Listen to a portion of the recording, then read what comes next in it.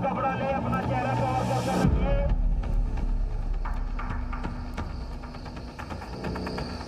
Corona की मार से क्या डरे? हम तो पहले से ही भूख से मर रहे हैं।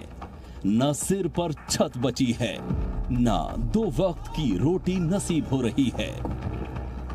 मानो बेबस ज़िंदगी खाना बदोश हो चली है। वो कहते हैं ना कि मरता, क्या ना करता। कुछ ऐसा ही हाल इन हज़ारों लाखों दिहाड़ी मजदूरों का है।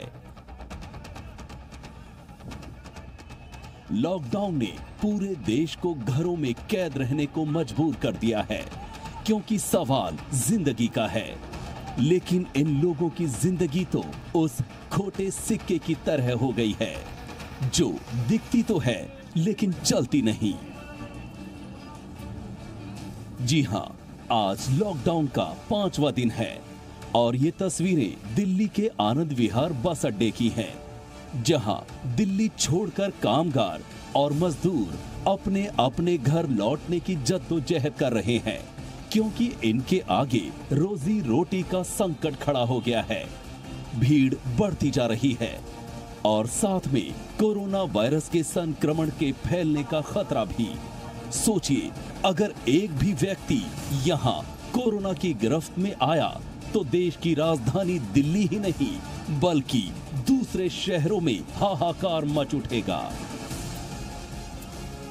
ये आनंद विहार बस अड्डा है, और यहाँ पर आप देख सकते हैं कि जो लोग दिल्ली को छोड़कर जा रहे थे, जो लोग यहाँ पर काम के लिए आए थे और अब उन्हें संकट शुरू हुआ, रोजी रोटी का संकट शुरू हुआ, खाने का संकट शुरू हुआ तो उन्होंने दिल्ली छोड़ना शुरू किया और उसके बाद लोगों की एक बड़ी भीड़, आनंद विहार के पास जमा होनी शुरू हुई। कल रात तक भी यहाँ लोगों की बड़ी भीड़ थी और उन्हें लग रहा था कि कैसे वो अपने घरों तक पहुँचेंगे। इस वक्त सिर्फ़ सबकी यही इच्छा थी कि वो घर तक पहुँच जाए। उसके बाद इस वक्त सुबह का ये माहौल है और यहाँ पर एनडीआरएफ की टीम भी तैयार है। National Disaster Relief Force India, उसके जवान यहाँ पर तैनात हैं। इसके अलावा दिल्ली पुलिस और सिविल डिफेंस के लोगों को भी, लोगों को भी यहाँ पर तैनात किया गया है और ये सारे लोग इस वक्त आप यहाँ पर देख सकते हैं, यहाँ पर उन्हें जमा किया गया है। और कोशिश ये है कि बसों का इंतज़ाम करके उन्हें उनके घरों तक पहुँचाया जाए और इसके लिए बहुत सारी बसें बसें हैं जो कि लगातार आनंद विहार के दूसरी तरफ़ खड़ी हैं और इन पर आप सीधा लिखा हुआ देख सकते हैं, विशेष अनुबंध करके बहुत सारी बसें हैं जिन्हें यहाँ पर लगाया गया है और अब लोगों को थोड़ा उम्मीद है कि शायद अब वो अपने घरों तक पहुँच जाएँगे। प्रवासी मजदूरों का पलायन पिछले तीन दिनों से जारी है, लेकिन शनिवार को ये संख्या कई गुना बढ़ गई। भय, भूख और भविष्य की अनिश्चितता में लोग दिल्ली और आसपास के इलाकों को छोड़कर अपने गाँव लौट रहे हैं। पहले कुछ लोग पैदल ही अपने गाँव की तरफ़ लौटने लगे थे, लेकिन दो दिन से बस चलने की वजह से हालात बेकाबू होते जा रहे हैं। लगातार लोगों के आने का सिलसिला जारी है। आनंद विहार बस अड्डे पर हज़ारों लोगों को एक जगह बैठा कर रखा गया है और एनडीआरएफ तैनात की गई है। जरा इनसे मिलिए। बिहार के छपरा के रहने वाले एक ऐसे ही छात्र हैं विकी कुमार, जो दिव्यांग हैं और दिल्ली में रहकर पढ़ाई कर रहे हैं। जैसे तैसे डोनेशन जुटाकर स्कूल की फ़ीस देते थे। लेकिन लॉकडाउन की वजह से एक तरफ़ पैसों की तंगी ऊपर से खान पान कहाँ से आ रहे हैं आप? सर नांगलोई से आ रहा हूँ मैं। कहाँ जाना है? अ, बिहार जाना था सर। बिहार कौन जिला में? छपरा जिला सर। कैसे पहुँचेंगे आप छपरा? सर बस से पहुँच जाएँगे। बताया था उन लोगों ने कि बस चलती है।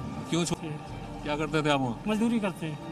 अभी बोला था रुक जाओ इक्कीस तक तो इक्कीस तक का इंतज़ाम नहीं था वहाँ कुछ? कोई इंतज़ाम नहीं वहाँ पे। जब भाग रहे निकल के वहाँ से। इन हज़ारों मजदूरों को पहुँचाने के लिए यूपी और हरियाणा रोडवेज़ के साथ डीटीसी बसों का इंतज़ाम किया गया है।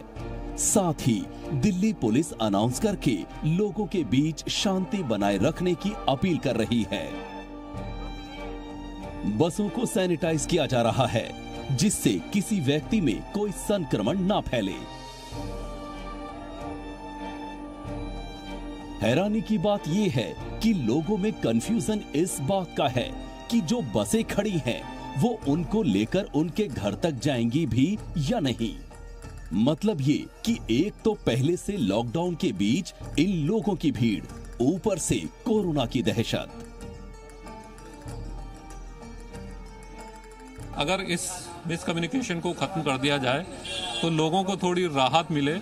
ये जो सारे लोग हैं, ये बस यहाँ बैठे हुए उन्हें ये भी नहीं पता कि ये बस जाएगी कि नहीं जाएगी। बहुत सारे लोग अभी भी कि घर तक पहुँचने की आस में आनंद विहार तक पहुँच रहे हैं, लेकिन यहाँ अभी भी स्थिति साफ़ नहीं है।